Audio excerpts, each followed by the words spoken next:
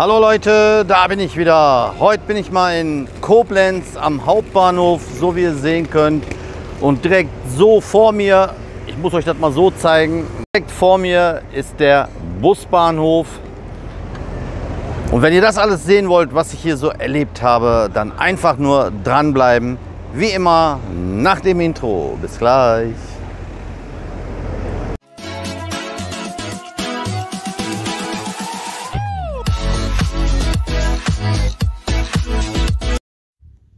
Unsere nächste Station ist ja Koblenz. Jetzt bin ich hier schon von der 48 und dann von der 9 runter, Zielgeraden zum Bahnhof hin. Und da habe ich das entdeckt, das wollte ich euch nicht vorenthalten. Schaut mal oben, ein Zug fährt gerade in den Bahnhof rein. Von der Sicht habe ich das auch schon lange nicht gehabt. Mit meiner Dashcam habe ich das sofort alles aufgenommen. Und in dieser Zeit überholt uns gleich noch ein Bus, müsst ihr immer gleich drauf achten. Mal gucken, ob ihr den jetzt sofort erkennt oder ihr wartet so lange, bis im Anschluss euch erkläre, was für ein Bus das ist. Schaut mal. Hier habe ich mir noch gar nichts dabei gedacht. Ich denke, was ist das für ein Bus? Aber hier, wie ihr sehen könnt, sind wir auch schon am Parkplatz direkt vor dem Zopp und uns erwartet schon ein Bus. Ja, könnt ihr den erkennen? Ein Effizienz-Hybrid. So, jetzt bin ich mal hier angekommen, hier direkt äh, am Bahnhof.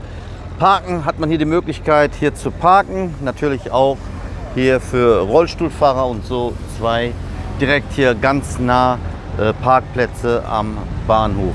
Der Bahnhof, der befindet sich hier mit so einem schönen älteren, modern, älter und modern, sag ich mal so. Innen drin bestimmt modern, von außen die Fassade ein bisschen älter. Da gehen wir auch als erstes gleich rein. Und dann gucken wir uns hier die Kollegen an, die hier gleich hier ankommen werden. Das hier ist nämlich dann der Busbahnhof, der neu gemachte. Ich kann mich so an diese Situation hier gar nicht erinnern. Ich weiß nur, auf der anderen Seite war noch etwas. Das haben die hier alles neu gemacht. Bin jetzt ja auch schon fast ja, 15 Jahre jetzt hier schon weg. So, dann kann man hier den Tunnel hier bis auf die andere Seite, will ich jetzt mal direkt austesten. Über uns sind natürlich schon Züge, zwei bis drei. Kann man hier mit einem Aufzug.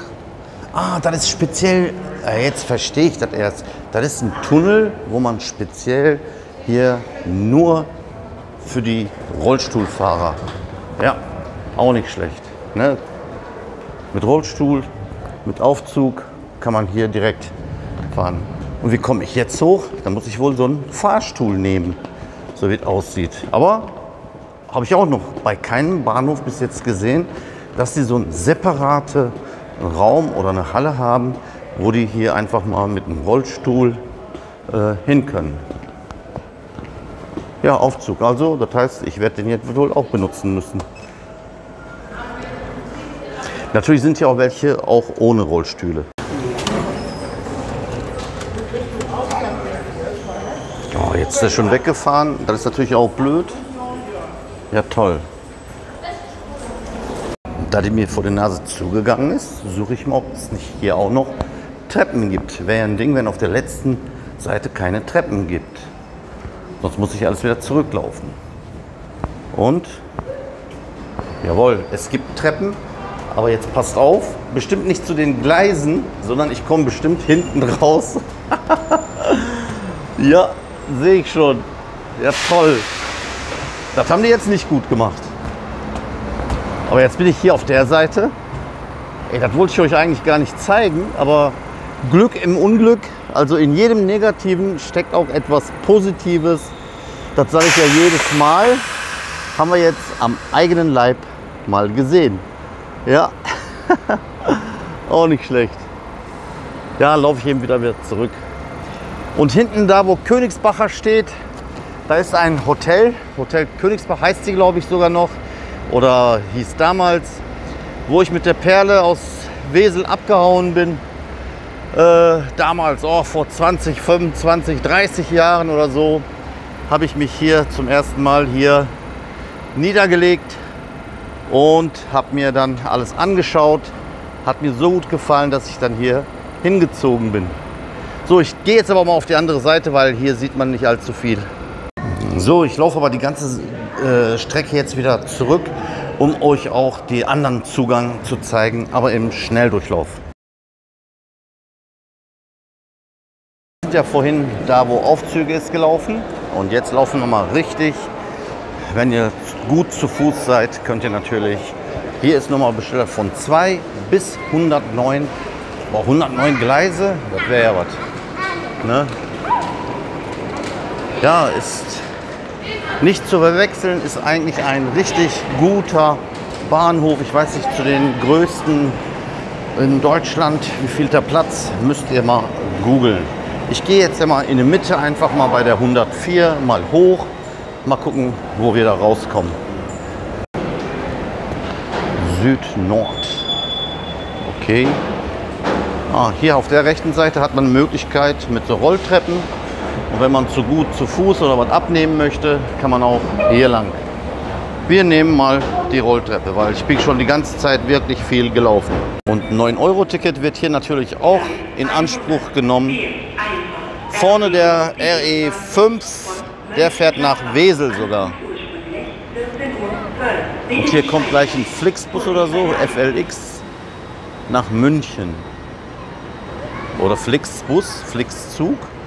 Keine Ahnung, kann auch nur eine Bezeichnung sein, FLX, aber könnte ich mir gut vorstellen. Da oben ist doch schon ein Citaro, aber in Gelb. Ich denke, die haben hier alles lila und so. Mal gucken. Zu den Bussen kommen wir ja gleich erst. Erst gucken wir mal, dass wir noch ein paar Züge aufnehmen können. Hm, ich bin, mit, ich bin jetzt mal ein ganzes Stück hier gelaufen damit wir hier keine Gesichter und so hier haben, keine Menschen, keine Leute. Jetzt muss uns nur noch ein Zug oder so entgegenkommen. Und wenn ein Bus kommt oder so, dann kann ich den direkt hier oben über die Brücke euch aufnehmen. Ja, ich verweile mal noch ein bisschen, bis ein Bus, Bus, ich sag jetzt immer Bus, ein Zug abfährt oder ankommt. Und dann gehen wir rüber, Hauptattraktion, wo der Kollege, boah, jetzt weiß ich auch nicht, wie der heißt, äh, der gesagt hatte, komm doch mal nach Koblenz, komm doch mal nach Koblenz die ganze Zeit. So, das Warten hat sich gelohnt. Wir werden belohnt. Das reimt sich auch schon wieder. Äh, kommt hier so ein schöner, was ist das, IC? Das ist nur ein IC, ja. Schön leise. Hier an.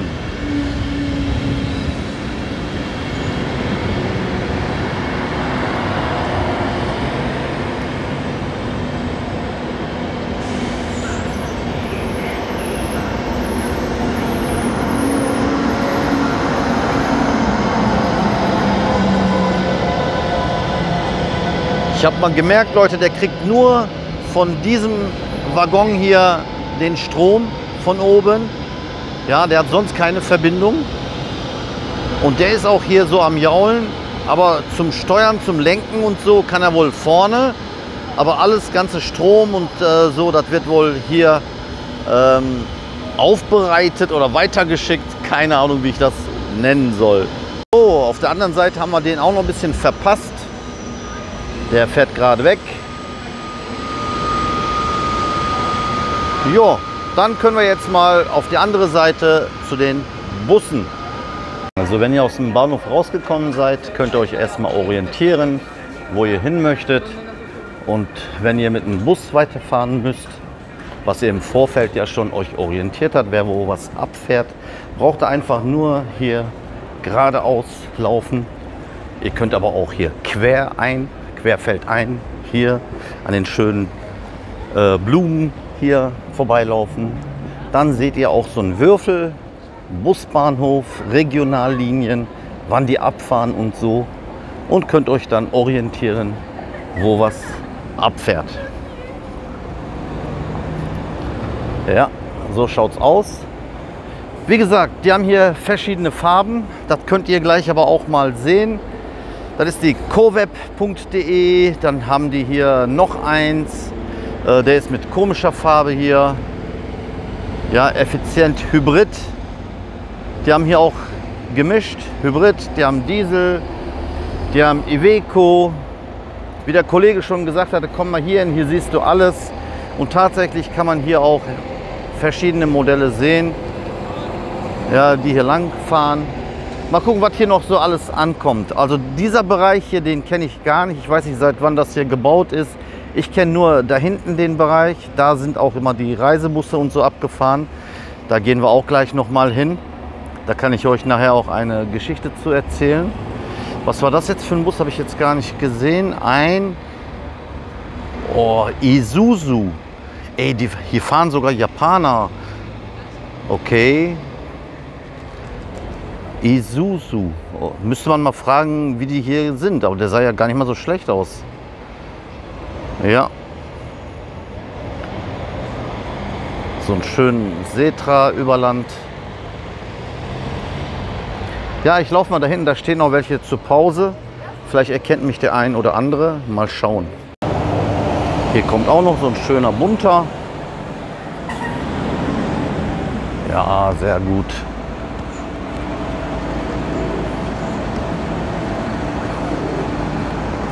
Mal gucken, wenn ich mehr Zeit habe, kann ich vielleicht auch mal mitfahren. Mal schauen. Den Isuzu, den gibt es noch mal auch als Gelenkbus. Schaut mal, so schaut das Ding aus. Nicht schlecht. Die haben auch die Türen hier so mit Rahmen gemacht, damit man das erkennen kann, äh, wo die Tür ist. Ja, so schaut es aus. Nicht schlecht. Man müsste echt mal fragen, ob die sich bewährt haben ob die gut sind, ob die gut angekommen sind bei den Leuten. Ich frage den Kollegen jetzt mal. So Leute, ich habe den Kollegen gefragt. Ich darf den Bus euch sogar vorstellen. Ist das nicht nett von dem Kollegen? Äh, schaut mal, der hat hier auch ähm, direkt für die Handys zum Laden. Das klappt auch, weil er lädt gerade sein eigenes Handy da. Ja. Und extra für, ähm, für ältere Leute gekennzeichnet, wo die sitzen können. Wirklich toll.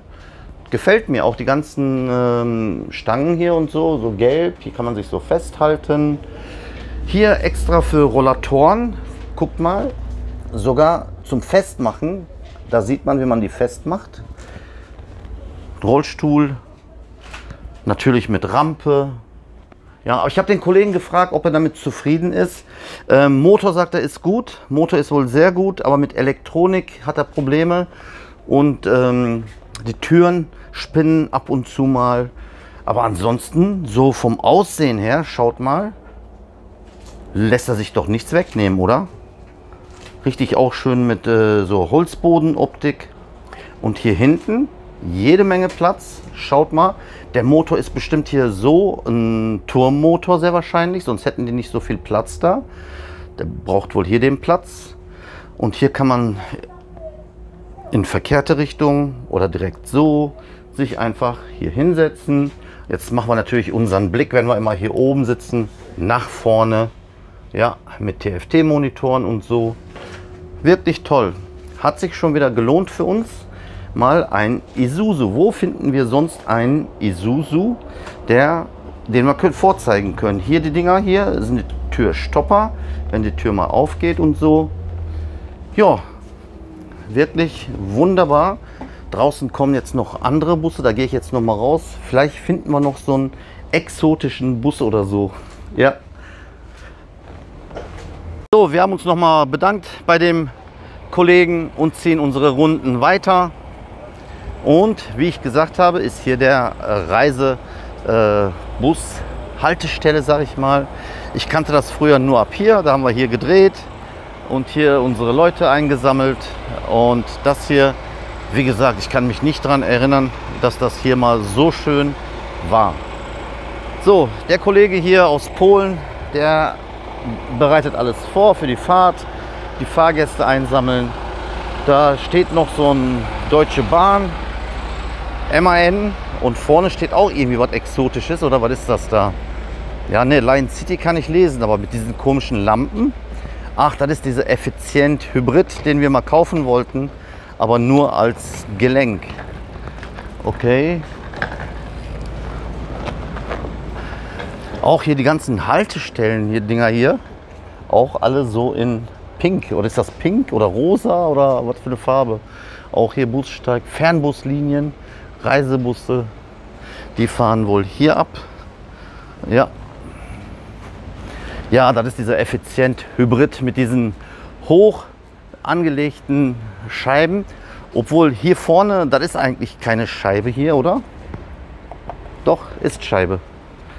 Oder sieht nur so aus. Ne, ne, ist Scheibe, ist geklebt. Ja. Der hätte hier auch wieder so ein Dings gebrauchen können, hier so ein Rahmen, damit man weiß, wo die Tür anfängt, sonst läuft man dagegen oder so. Das wäre schön angebracht. Ja, jetzt sehen wir auch mal so ein effizient MAN mal als Gelenk. Und natürlich schöne Ladies haben die hier auch. Der ist sogar von Zickenhainer, okay. Der Kollege, der macht da gerade auch Pause. Aber der ist hoffentlich nicht im Bild. Der war gerade nämlich was am Schlucken, äh, was essen. hier noch so ein 500er HD Setra. Aber das ist die 5er Reihe, nicht die 4er Reihe, die wir haben. Ja. Da hinten steht noch einer. Die sehen doch wohl krass aus. Oder Leute, schaut euch das mal an. Ja, wirklich ein schönes Bild. Hier mal von den Reisebussen. Da gehen wir auf die andere Seite gleich noch. Und vielleicht kommt ja gleich hier noch ein Reisebus hier reingefahren oder so. Ja, hat sich wirklich gelohnt, hierher zu kommen. Allein schon wegen diesem Isuzu. Ja, da war ein Iveco, war aber kein Reisebus jetzt in dem Sinne. Ich war gerade am Handy am Spielen, da kam er mir um die Ecke.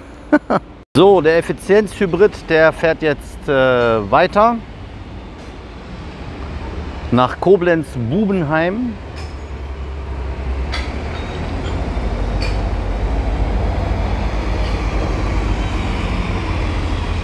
Aber wenigstens den. Da hinten, da macht sich der Spießreisen. Ja, den kenne ich auch noch, der Spieß. Die haben auch Reisebusse und so. Die fahren natürlich auch Linie. Der fährt jetzt hier auch gerade raus. Und dahinter kommt noch einer. Ne, der macht da hinten gleich Pause. Und der Kollege, der grüßt mich sogar. Der kennt mich vielleicht. Mal gucken. Keine Ahnung. Hat mich auf jeden Fall gegrüßt.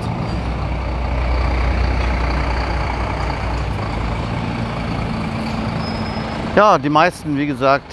Ach, da kommt der Isuzu diesmal als Solo. Jetzt können wir den mal noch mal gucken, wie der ist. Ja, mit den roten gekennzeichnet. Der ist von Transdev. Deswegen ist er auch, hat er rote Farbe gewählt. Cityport heißt der. Aha. Jetzt sehen wir das mal. Isuzu Cityport. Okay, wer das noch nicht weiß, wir waren sogar schon in einem drin und zwar in einem Gelenk. Mehmet Oe macht's möglich, Leute. Ich sag doch, nicht jedes Video ist wie die anderen. In jedem Video gibt es immer wieder was Neues. Jetzt der 5er HD, der fährt jetzt auch hier raus. Ja. Der macht Pause, gleich geht es weiter. Aber schaut mal, Leute, äh, mit dem Reisebus als Linie oder so. Der müsste aber irgendwo eine Linienbezeichnung haben. Nur an der Seite hat er die. Vorne habe ich nicht gesehen oder nicht darauf geachtet. Weil der Kollege ist auch nicht in Weiß und Krawatte und so angezogen.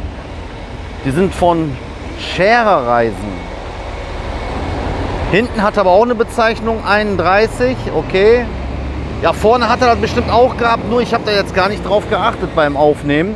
Ich war bemüht, mein Handy äh, gerade zu halten. damit keine Verwackler drin sind.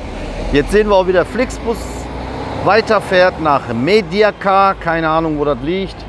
Und wir laufen jetzt auch direkt weiter zum Bahnhof. Am besten diesem Mädchen hinterher. Jawohl, jetzt laufen wir mal einfach hinterher. Mal gucken, wo die uns hinführt. Und gleichzeitig können wir auf der anderen Seite auch beobachten, wo die Kollegen dahin fahren, der mit der Linie, da ist jetzt komisch, dass der mit einer 31er Linie mit so einem äh, Doppelstock hier durch die Gegend fährt. Das Mädchen hat aber einen hohen Tempo, du komme ich gar nicht nach. Ja. Und schon kommt uns noch ein Isuzu. Ey, hier fahren ja jede Menge. Hätte ich jetzt nicht gedacht, dass hier so viele Isuzus so durch die Gegend fahren. Ja,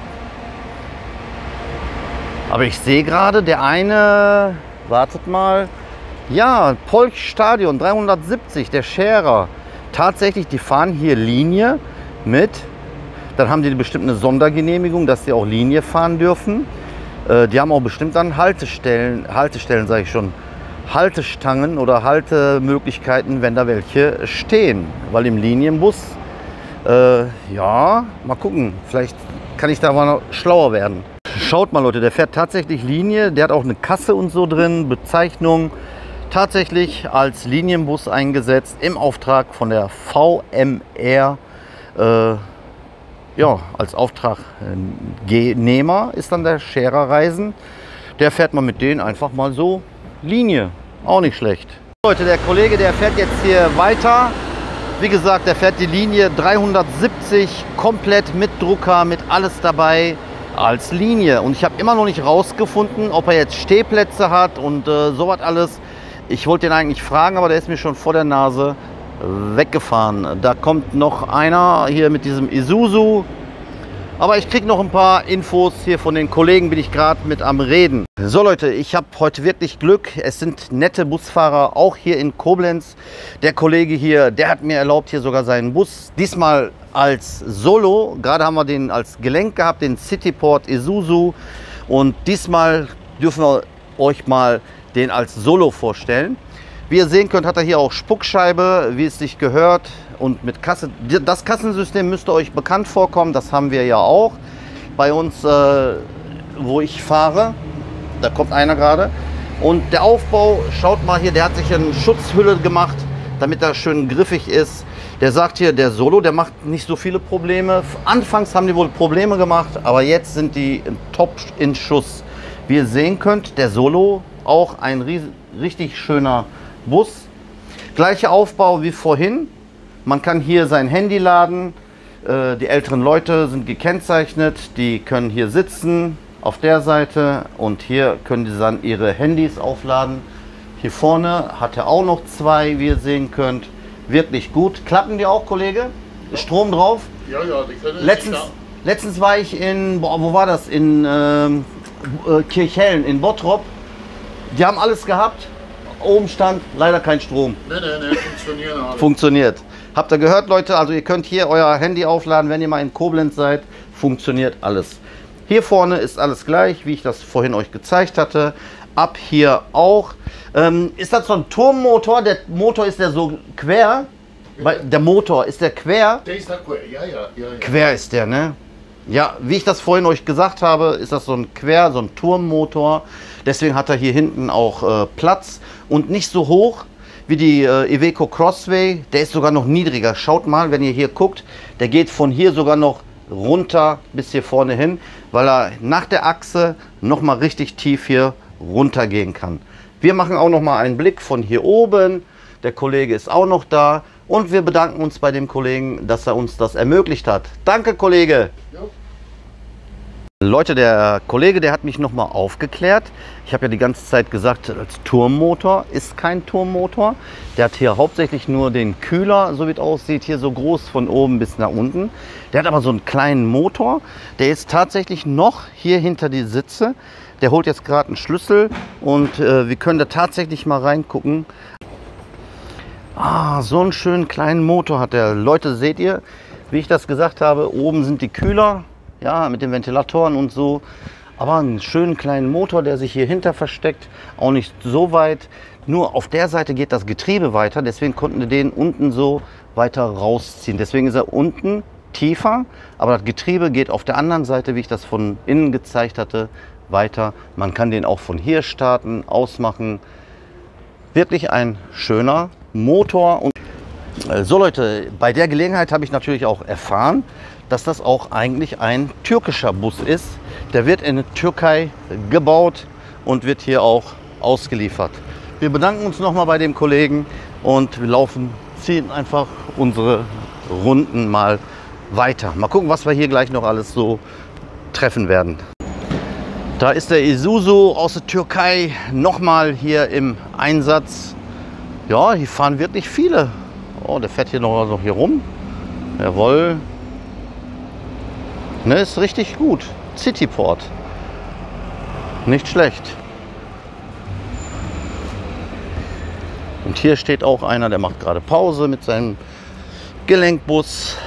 Ja, da kommt aber noch ein exotisches Teil. Mal gucken, was das für einer ist. Wir schauen mal. Der Kollege setzt jetzt ein, der uns das alles gezeigt hatte. Und da vorne ist auch so ein MAN. Der hat aber einen ganz komischen Aufbau. Schaut mal, Leute.